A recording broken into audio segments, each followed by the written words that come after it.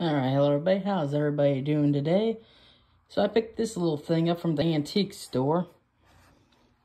It is a musical whiskey pour. You see what you're pouring and what you're playing. Miniature music box plays Pop Goes the Weasel. So this is actually pretty cool because you can see the liquid come through this tube here. Out through here, I had to sand down the cork material to fit it in there. It was dried out and uh, not very nice, so had to sand that down a bit so it would actually fit in the bottle and not leak.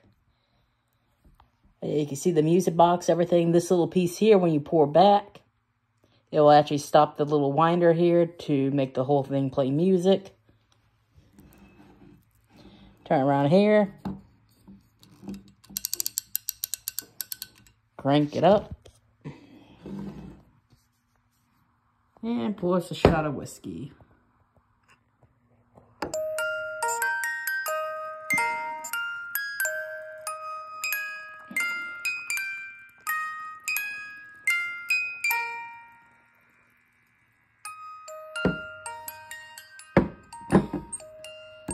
It is kind of stuck in there though, so I might be able to take it apart.